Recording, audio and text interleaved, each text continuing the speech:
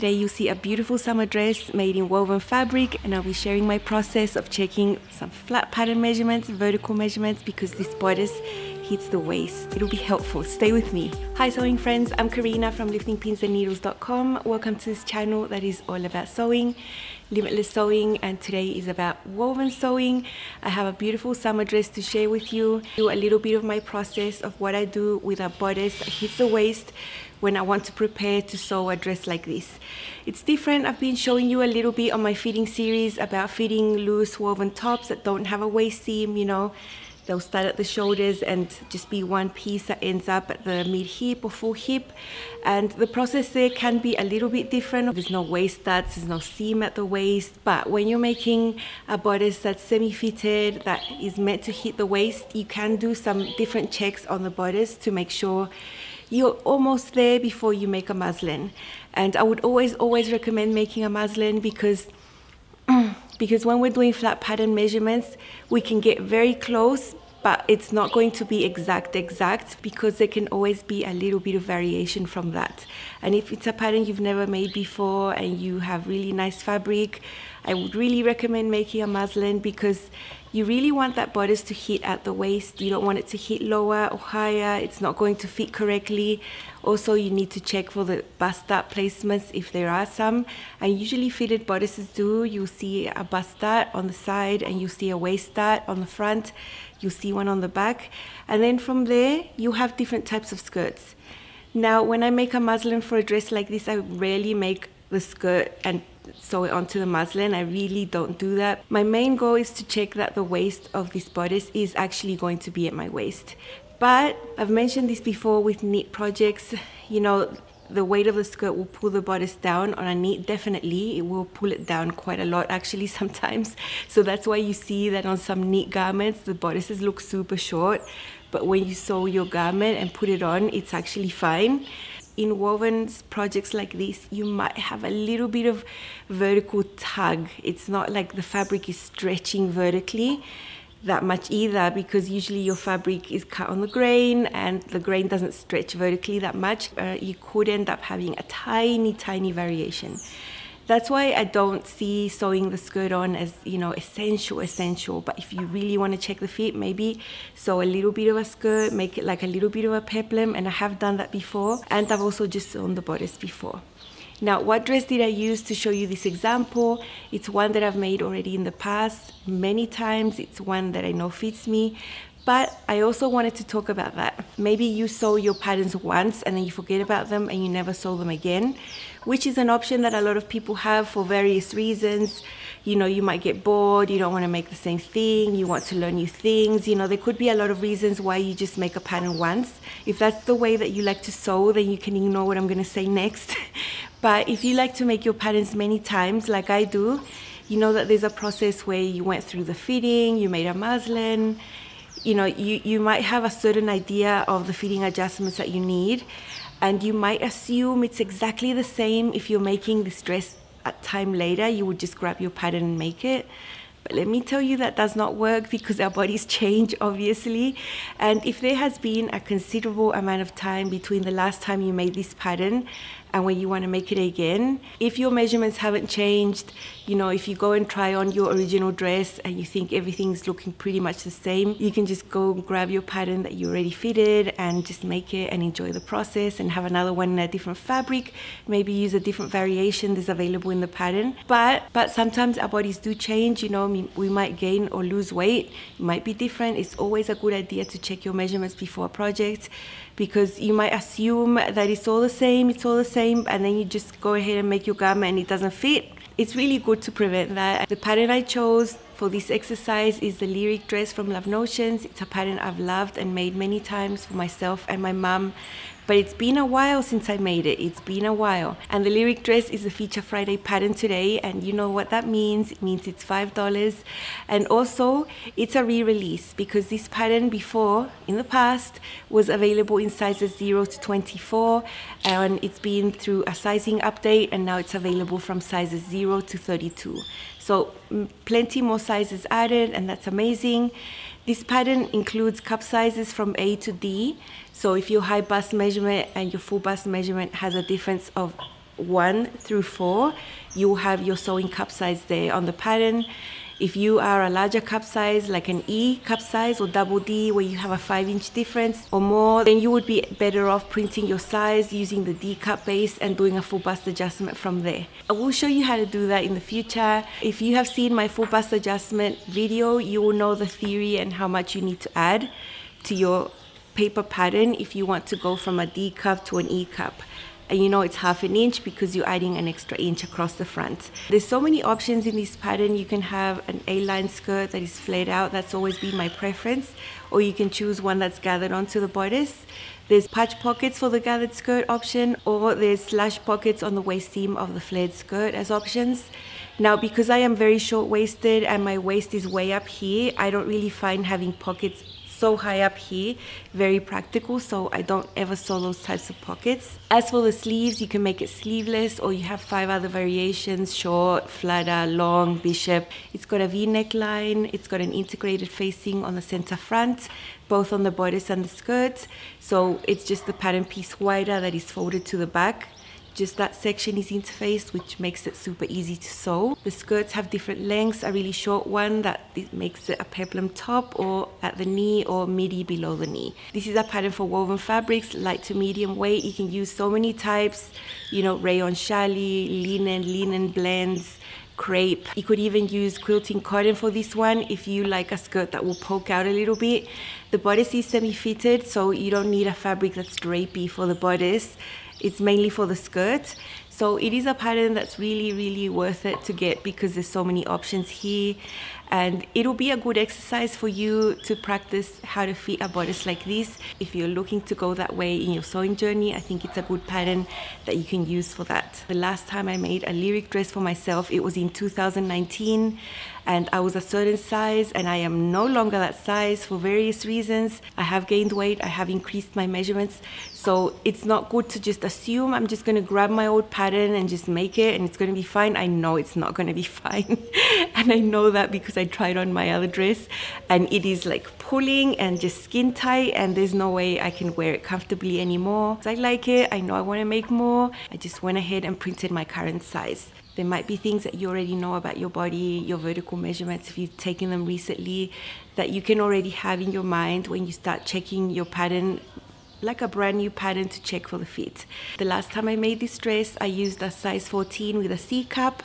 Now I'm planning to use a size 16 with a C cup. Depending on your size and your cup size, the ease around the bust will vary between two, three, four inches of positive ease, which makes this a semi-fitted bodice it's meant to be. It's not meant to be a relaxed, sort of loose type of style.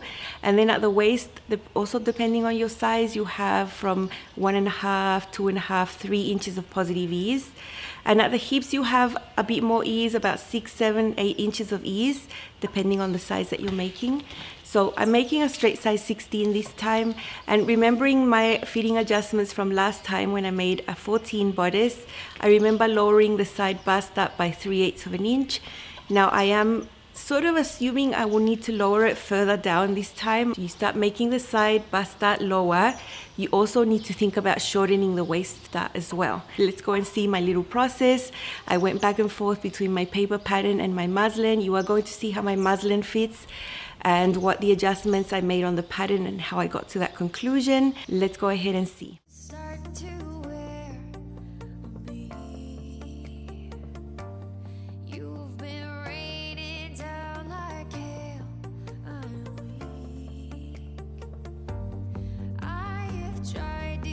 I'm going to do some checks to make sure that that's all okay for me, the bust height, all those things that I usually check. It's meant to hit the waist. So that's why you see it's a small little thing. Here is a side bust dart and a waist dart. The bust point on the pattern is not marked on the pattern, but if you have a pattern piece that has a side bust dart and a waist dart, it's really easy to determine where the apex is on this pattern.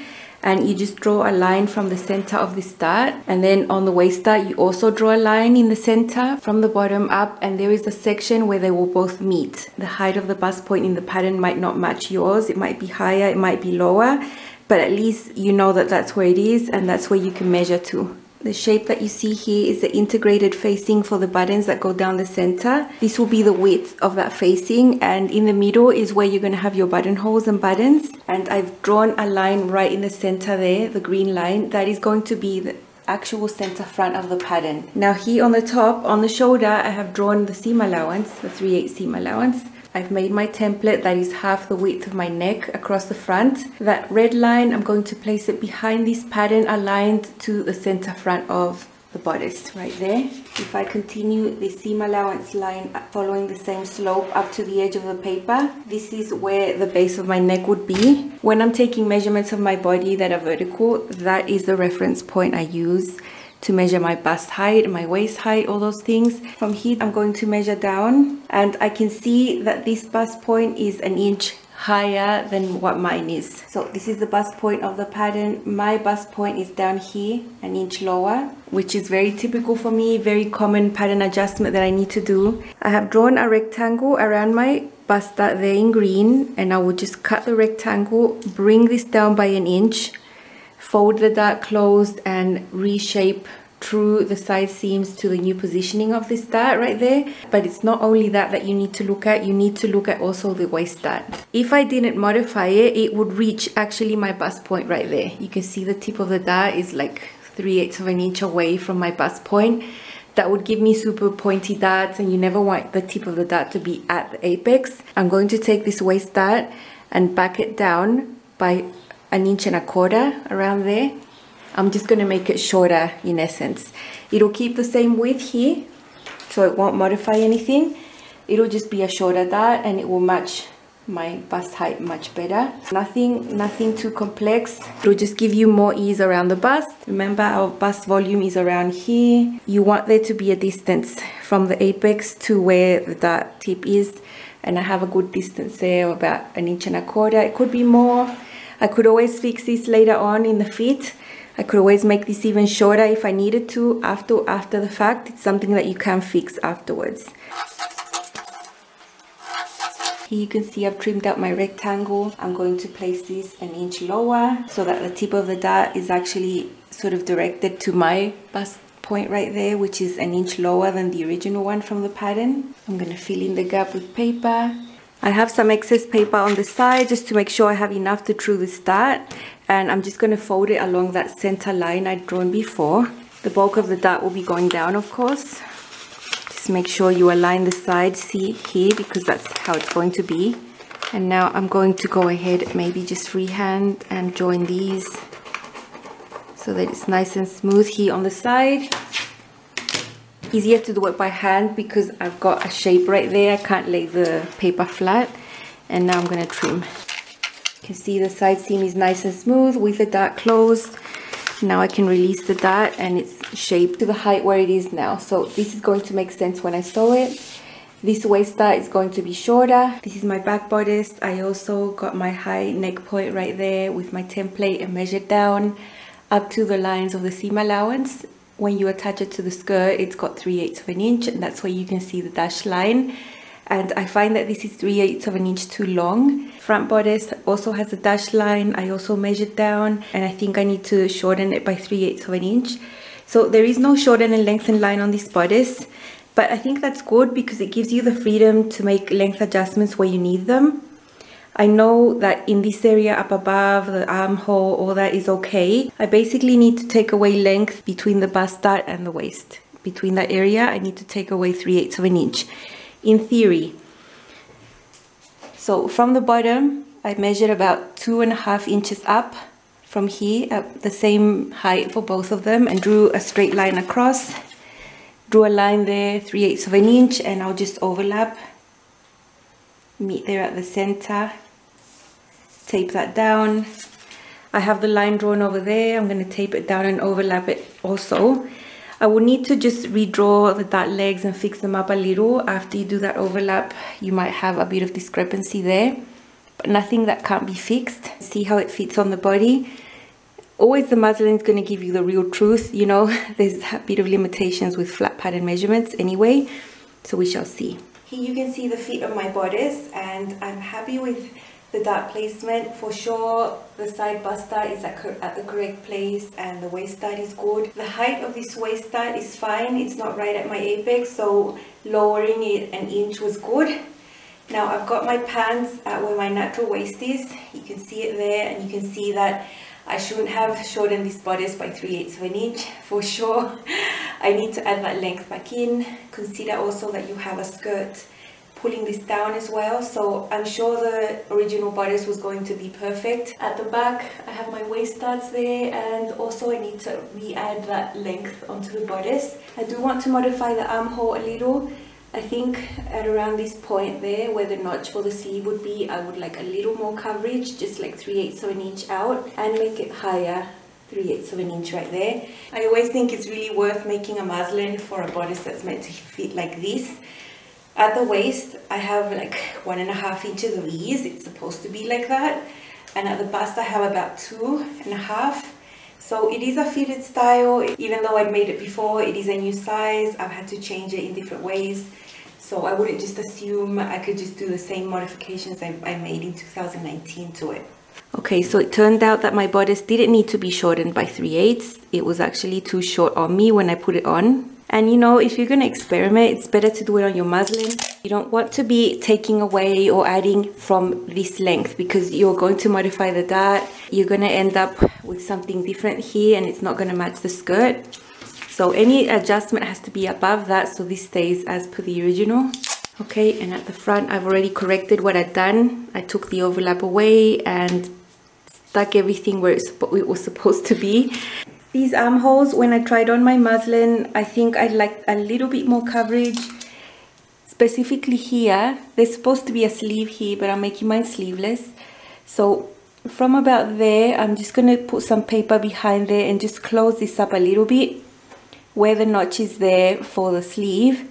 From there, I'm going to bring it out by maybe 3 eighths of an inch extra paper and then just taper it to nothing there just to have a bit more coverage there and a little higher here by about 3 eighths of an inch. So I'll just put some paper, fix these up to make them the same and then I'll be happy to cut my main fabric.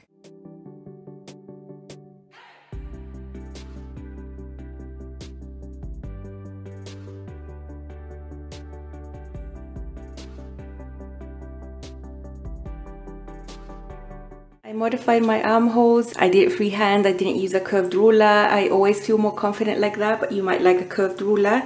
From where the notches are for the sleeves as a reference, I brought it up by 3 eighths. I brought it up by 3 eighths. And then around the middle of the armhole, around the half point, I started joining the lines right there. Same as on the back. And this is just refining the feet from the original. Just a little bit higher I feel more comfortable. If you haven't seen this video that I'm showing you on the screen that goes over how to check for vertical measurements on a pattern, even though I made that video thinking about woven tops that don't have a waist seam, the concepts described in that video will be very helpful for this one. We can have all our circumferences correct. You know, the garment will in theory fit our bodies this way or these other areas. Those are things that can vary the most.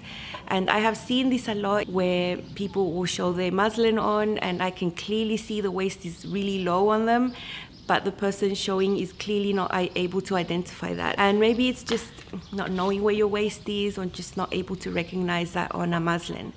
But having a waist too high or too low is super common with styles like this. And you can see I checked mine. I thought I had to do an adjustment. I shortened it. I made my bodice. My bodice was too short, so I added the length back. And that is what's really good about muslins. They give you so much information and you can go back and forth and adjust your pattern until you're really happy. I decided to just add a little bit extra here to the armholes. You saw that that was so easy to do and it's going to give me the coverage that I want around here which is something I noticed when wearing my other lyric dresses that I made that were sleeveless. I always thought, mm, I wish I had a tiny bit more there. So those are things that you can definitely change. Don't be scared of changing little things like that. If it's something that you like and you, you're going to be more comfortable wearing your garment that way. This fabric was way up there in my mind. I didn't buy it that long ago, probably late April, so it's been a few months. And it's a linen rayon blend. It's so, so pretty. The colors are so summery. I did not film anything of the sewing with this one because I already have a video showing you how to sew the neckline, which is the part that can take a little longer. All the rest is very simple. Sew shoulder seam, sew several darts, you know, put your bodice together with the skirt. Waist seam there, you can barely tell because of the print. I have a buttonhole right in the middle of that seam. I had quite a nice piece of fabric left over from this beautiful print. I didn't want to use it up making bias tape. I wanted to keep it for something else, so I used my store-bought satin bias tape. And I used the same for the sleeveless armhole. It's such a lovely floaty dress. At the back you can't see the waist darts, the waist seam, and I have the flared skirt. I just really like this type of skirt best. And I remember when my other lyric dress used to fit me correctly, how great I felt in that dress. And I just wanted to have it again in a size that will fit me right now in 2021. This dress uses 3 8 seam allowance for the whole thing. That's how it looks inside. This facing is from the same front piece and it's just folded back, the same as for the skirt. So there's not a different type of pattern piece that you have to sew on to have the button band. It's all included.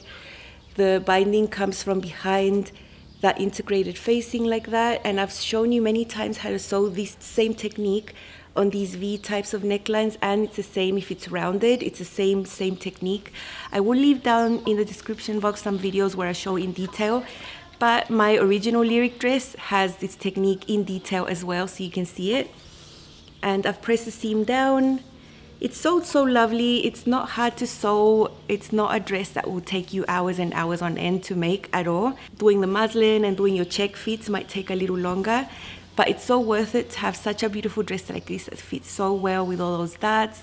Darts help the garments fit our bodies. Don't think it's a bad thing that the dress has darts, you know, it is good. I like a dress that is not loose and boxy at the waist. I like that this comes in close to the waist and then has the flared skirt. It's just very pretty and I'm very happy with this dress. It's going to be one of my favorites. I love the print. Let's see how it looks. This is my newest lyric dress in a rayon linen blend with a beautiful summery print. This is a size 16 with a C-cup bodice. A few fitting adjustments to the bodice, mainly with the positioning of the bust darts and this is the flared skirt option without the pockets above the knee. I love how this fabric drapes and moves when I walk. It's really, really lovely and perfect for hot weather. The facing for the buttons is integrated to the front bodice piece and the front skirt piece, so it's really easy to sew. I have 14 buttons, they are two inch apart and there's one right there where the waist seam meets the skirt seam right there so make sure that area doesn't gape my goal was to have the waist of this bodice hit my natural waist and it's exactly there both front and back. I'm very happy with the fit I was able to achieve here on the top. This V is very nice. The depth is not low. It's not high. It's perfect. Adding a little bit here makes me very happy. I have an armhole that I really like. So the muslin really does help you see things like that. And just look at these colors. It's so so happy. This bust dart is correctly placed for my bust height it would have been too high if I had not changed that. And the waist that comes from here is also just reaching there. It's not going all the way to the top. That's why I had to shorten it. And at the back I didn't make any changes to the back darts. Those are fine. I'm so happy I can have this dress again. I loved my previous one. Maybe I'll fit in, into it someday maybe not. It's in my closet. I really like it but I can have a new one now that fits me right now in 2021 and I'm very happy with it. It's so pretty. It makes me really happy. Such a nice woven dress. I love it.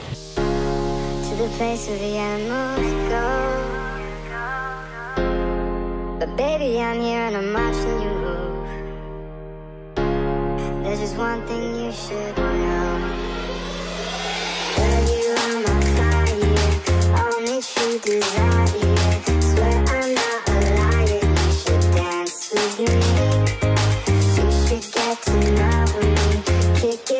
it with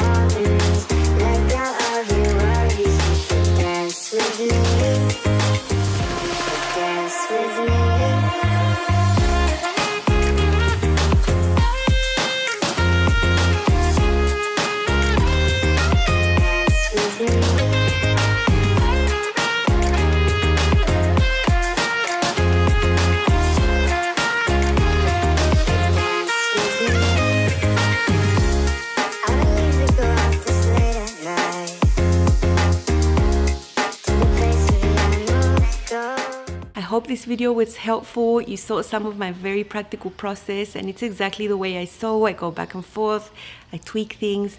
Definitely make a muslin if you're making a dress like this. Don't go ahead and cut your precious fabric because there are things that you can fix once you've already made your dress and others that you can't um, when you have a bodice that hits the waist, don't just go and add and take away length from the edge of the paper. You need to do that adjustment up further. And even though this pattern doesn't have a shorten and lengthen line, I think it's a blessing in disguise because it allows you to make that shorten and lengthen line on the area that you need it you know you might be petite you might need to make it shorter at the armhole. So you might need to draw your line there. You might need to make it short above the bust if you needed to make that bust that higher. So many ways you can adjust the pattern to fit your torso length. So I chose a place to put that line that was above the edge of the paper about two and a half inches and made my cut line there and it's perfectly normal. Although it's an adjustment I didn't need I made my muslin like that and then added the length back. I think if you want to avoid feeling frustrated of making something that doesn't fit you correctly with pre fabric, I think one way to avoid that is making a muslin for sure. Don't think it's a waste of time. It's not. Muslins are so fast to sew, it'll take you no time to whip one up and you can know quickly if your adjustments have been correct and what you need to do. Don't forget the lyric dress is only $5 today and because it's a re-release, it'll be 30% off through the weekend, Saturday and Sunday, but today, Friday, will be the day to get it for only $5, which is 60%. I will see you again very soon with more sewing. Bye!